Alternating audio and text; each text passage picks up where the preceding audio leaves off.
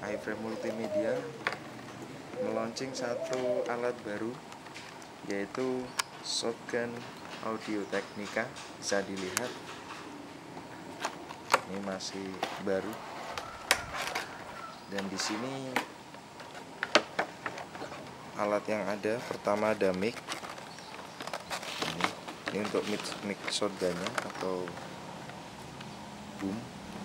Kemudian ini windshield oke bisa dilihat ini adalah Oh, itu biasanya sih buat ini apa? masang ke Stand mic ini. oh ya Yang stand ini mic. buat ke stand mic oke ini untuk stand mic nyambungin antara antara Shotgun dan shotgun ke stand-nya. stand mic.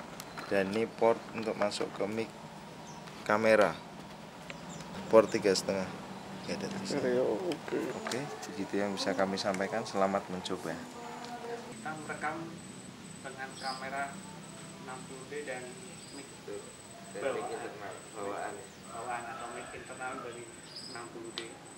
Eh, gimana perbedaan suaranya? Silahkan dengarkan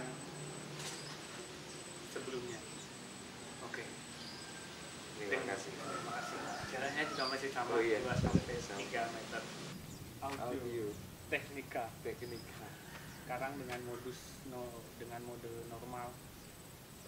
Ya normal ya tadi. ya. betul normal ada pilihan tele ada normal kita pilih mode normal Normal. Suaranya nanti bisa didengerin gimana bedanya. Ini kira-kira jaraknya berapa nih, Riz? Eh, 2 meter, 3 meter. iya Jadi jaraknya sekitar 2 atau 3 meteran, 2-3 meteran. bisa didengarkan dengan memakai shotgun audio Technica Eh, dengan milih mode tele. Kita bisa melihat perbedaannya dengan mode normal. Gitu Dengan ya. mode normal tadi ya. Jaraknya masih sama sekitar 2 atau 3 meter. Nanti bisa didengarkan di mana perbedaan suaranya.